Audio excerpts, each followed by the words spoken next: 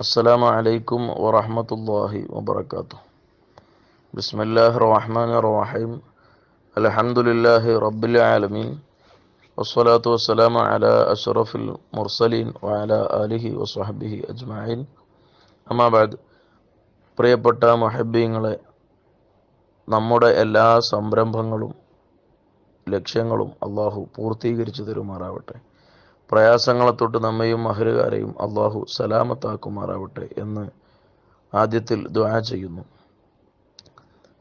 അസ്വലാത്തു അമാദുദ്ദീൻ ദീനിന്റെ തൂണ് അത് നിസ്കാരമാണ്.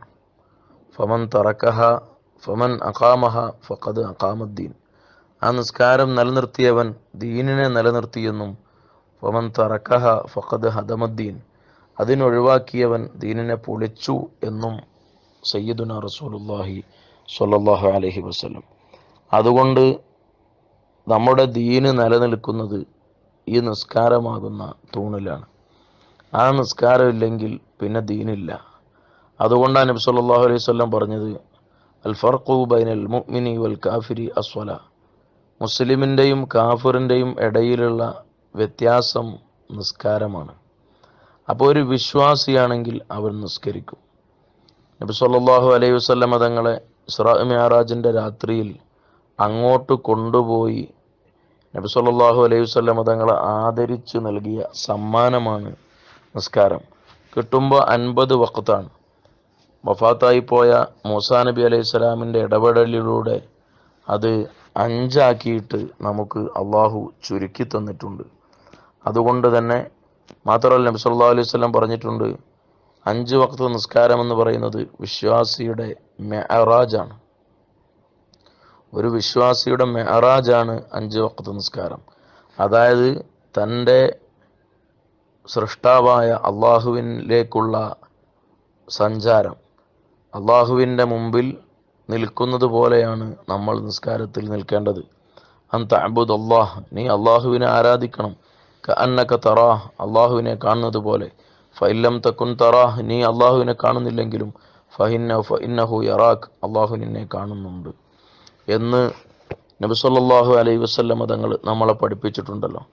മാത്രമല്ല നബി സല്ലല്ലാഹു അലൈഹി വസല്ലമ തങ്ങൾക്ക് എന്തെങ്കിലും ഒരു വിഷമം വന്നാൽ മുത്തുനബി നിസ്കരിക്കലാണ്.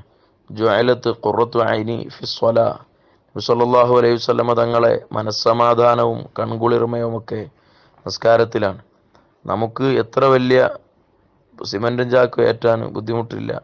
മരം വലിക്കാൻ ബുദ്ധിമുട്ടില്ല. അതുപോലെ രാവിലെ മുതൽ വൈകുന്നേരം വരെ കോറിയിലും പാടത്തും പറമ്പിലൊന്നും തൊഴിലെടുക്കാൻ ബുദ്ധിമുട്ടില്ല.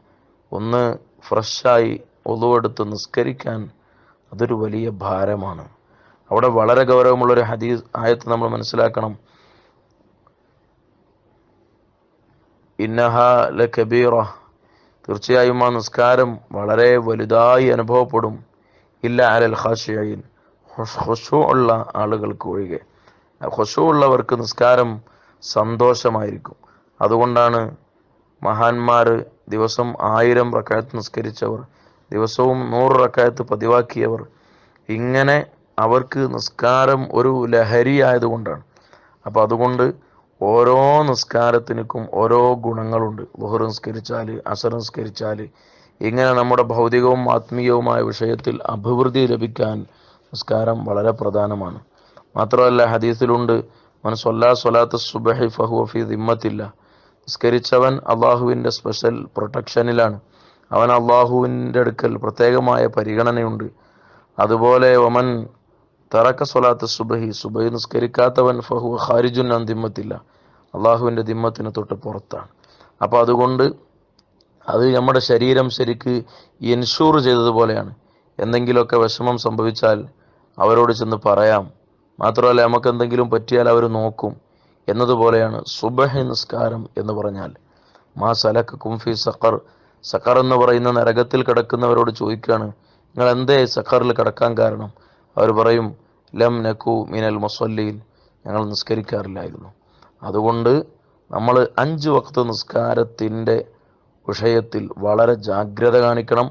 അതിൽ വരുന്ന പോരായ്മകൾ പരിഹരിക്കാനാണ് അതിന്റെ മുമ്പും പിന്നിലും ഒക്കെ നമുക്ക് റവാത്തിബ് നിസ്കാരം വെച്ചത്. വളരെ ശ്രദ്ധയോടെ നിസ്കരിക്കണം എന്ന് ഓർമ്മപ്പെടുത്തുന്നു. അസ്സലാമലൈക്കും